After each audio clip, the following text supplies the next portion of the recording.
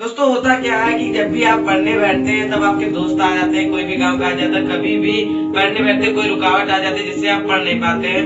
तो मैंने भी इसीलिए आपके लिए स्टडी पर एक मोटिवेशनल वीडियो बनाओ जिससे देखने के बाद आप हंड्रेड परसेंट पढ़ेंगे। स्वागत तो करो हमारा।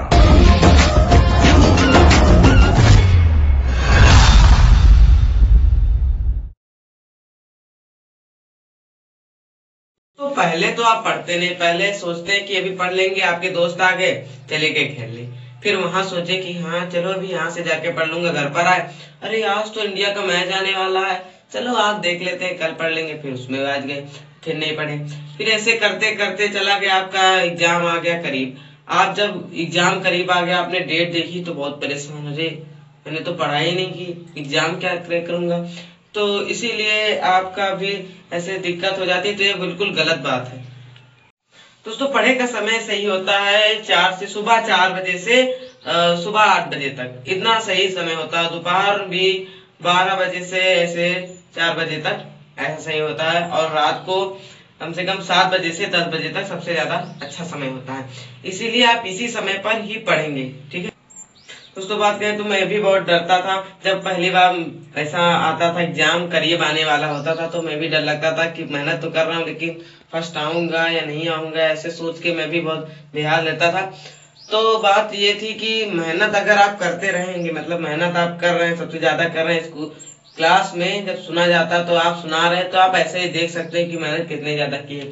अगर आप मेहनत ज़्यादा कर रहे हैं तो आप ये ना डरिए कि मैं फ़र्स्ट आऊँगा या नहीं आऊँगा। आप मेहनत करते रहिए और इसी तरह मेहनत करते रहिए और फ़र्स्ट आइए दोस्तों, फिर ऐसे ही भगवान के गुण गाते रहिए, ऊपर से वाले से दुआ करिए कि आपको फ़र्स्ट लाता रहे। लेकिन आप भी मेहनत करिए, आप अगर उनसे कह रहे हैं तो आप भी मेहनत करिए।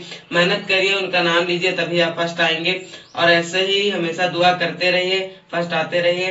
वही मेरे, ये मोटिवेशनल वीडियो बनाकर मैं क्या कर सकता हूँ? आपको बोल के पिला नहीं सकता है। इसीलिए मैं आपको सिर्फ़ ये बताना चाहता हूँ कि आप आप पढ़िए। अगर पढ़ रहे हैं तो मम्मी पापा का पैसा ना बर्बाद करिए और पढ़ते रहिए इसी तरह। अगर दोस्तों आपको कोई भी क्वेश्चन याद नहीं होता, बहुत परेशानी होती है, याद करने में तो सबसे पहले क्या करिए, जो क्वेश्चन है पूरा, उस क्वेश्चन को ही पढ़ डालिए। उस क्वेश्चन को एक बार पढ़िए, चाहे जितना बड़ा हो, पूरा क्वेश्चन एक बार पढ़िए। उसके बाद अपने टीचर से या किसी से भी उसकी पूरी हिंदी जानिए। तो ठीक है, आप इसी तरह जैसे मैम है तो उनसे पूछिए, किसी से भी उसकी हिंदी पहले जान लीजिए। जब हिंदी आप समझ जाएँगे तो उसे याद करने में कोई डाउट नहीं होगा। फिर एक लाइन से एक जहाँ तक फुल स्टॉप है। एक पूरा पैराग्राफ वहाँ तक पढ़ डालिए। वहाँ तक पढ़िए, उसके बाद उसको कई बार कहिए। उसकी हिंदी आप समझ जाएँगे। इससे आप पूरा इसी तरह कंपेयर कर सकते हैं, पूरा याद कर सकते हैं। तो ठीक है दोस्तों, मैंने ऐसे इसीलिए आपके लिए वीडियो बनाया था कि मैं पढ़ाता तो हूँ, लेकिन आप पढ़ते हैं नहीं पढ़ते हैं तो इसीलिए मैंने वीडियो ये बनाया था कि आप भी पढ़ें। इसलिए ज़्यादा मोटिवेशनल वीडियो मैंने बड़ी नहीं बनाई। क्योंकि आपसे ये आप ही कर सकते हैं। मतलब आपको अगर पढ़ना मन है, तभी आप पढ़ सकते हैं। आपको जागरूक करने की कोई वो नहीं है। इसीलिए मैं आपसे कहता हूँ कि आप भी पढ़िए।